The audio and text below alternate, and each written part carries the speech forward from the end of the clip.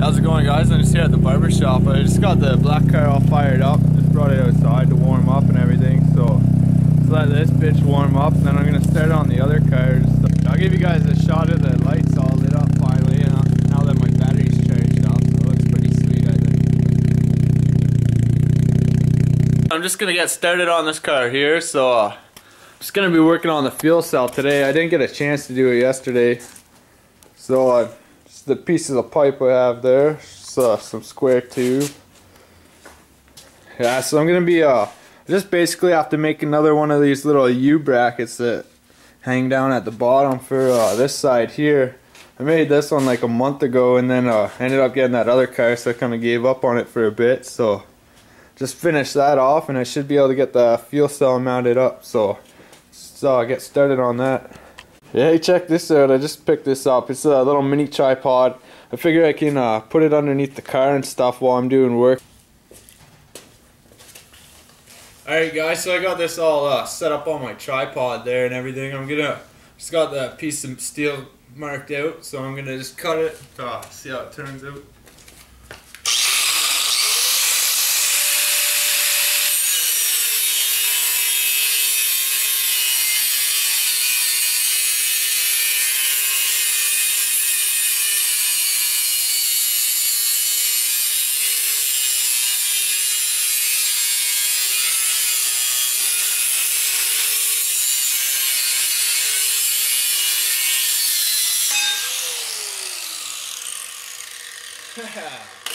It's like that. Alright, so I got those pieces all cut. They're good to go. So I just have to uh, cut two little square tabs here for little tray I made. This is the bottom tray. Uh, this is what the fuel cell sits into and then it has those tabs on the side that are gonna bolt to that little frame I welded in the back of the car. So just have to cut two square tabs, weld them on there and drill some holes drill some holes in that and then I can tack it all together. So just hold on for that. Alright so I got those little square tabs cut. I'm just about to uh, tack them in place there. So once they're in place I can uh, drill holes through them drill the holes through the other ones and uh, start welding it all together. Alright so I got this all set up on the tripod again. I'm just gonna tack these two in place here. So let's hold on a second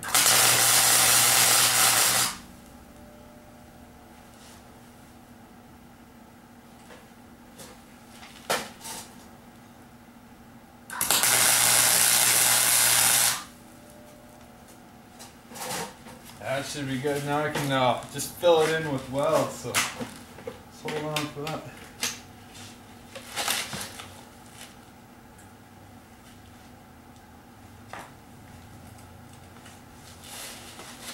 This might move over a bit here.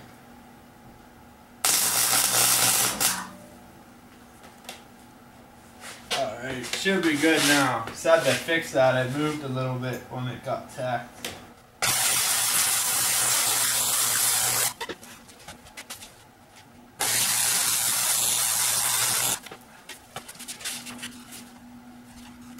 Gracias.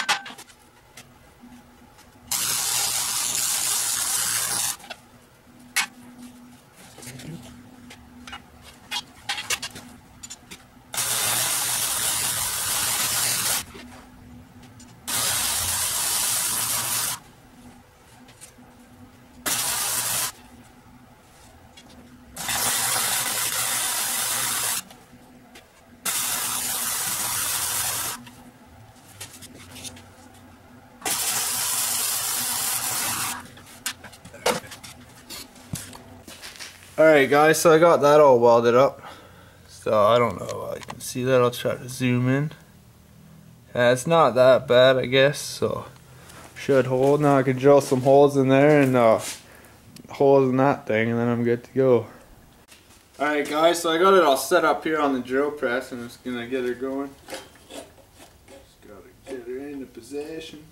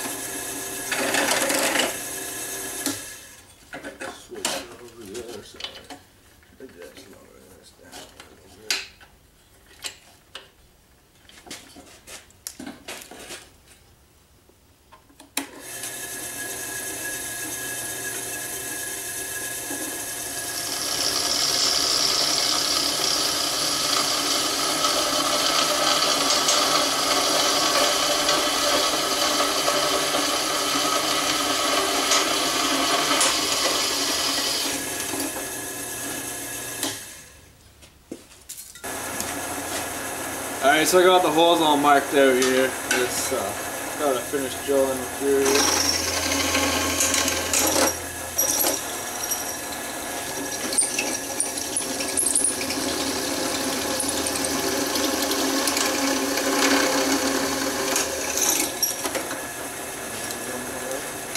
Through it again just to clean it up.